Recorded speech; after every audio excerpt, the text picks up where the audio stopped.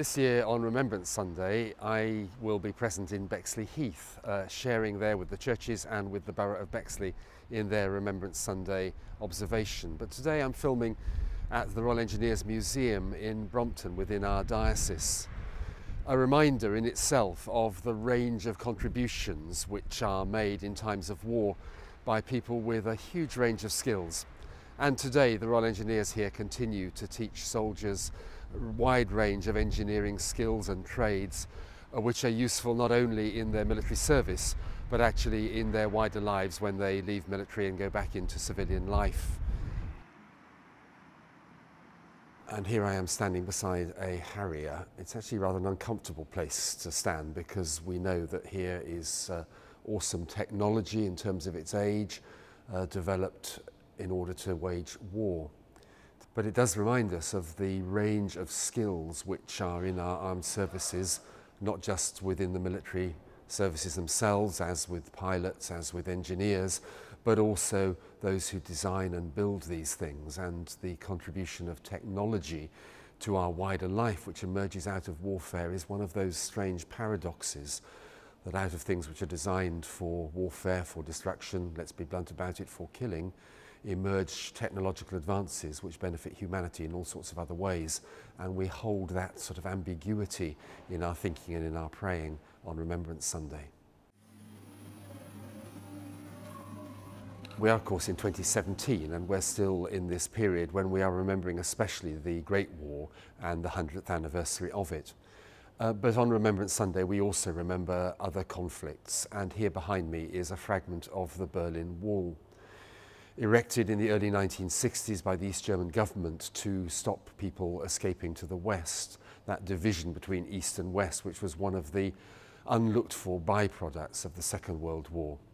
This wall eventually, of course, came down in 1989, but it's a stark reminder to us of the effects of warfare on civilian populations and indeed on the social and political geography of whole parts of the world.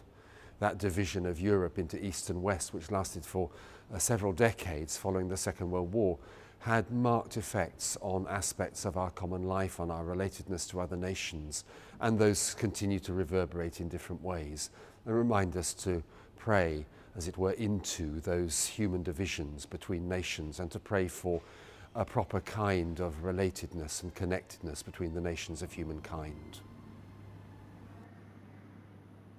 Also here are stories of individuals uh, on display. Reminds us of the human scale element of warfare and of military service. These are people's sons, their daughters, their husbands, their wives, their friends, their neighbours. There are displays here about the Royal Engineers' work in peacekeeping, in building up communities after warfare, and that's as important as anything else that they do.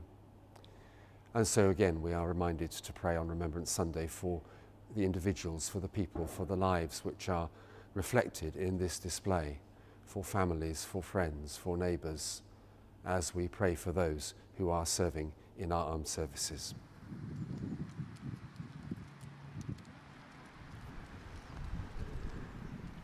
And so, as we come once again to this remembrance season, we hold in our prayers this world which we believe God has entrusted to us.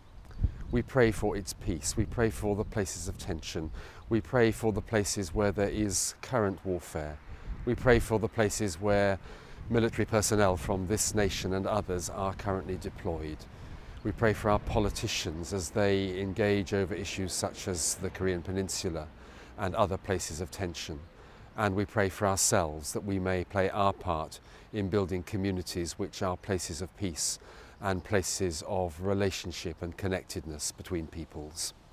But most of all, of course, we remember today and in this season those who have died in times of war and their families and those who continue to treasure their memories.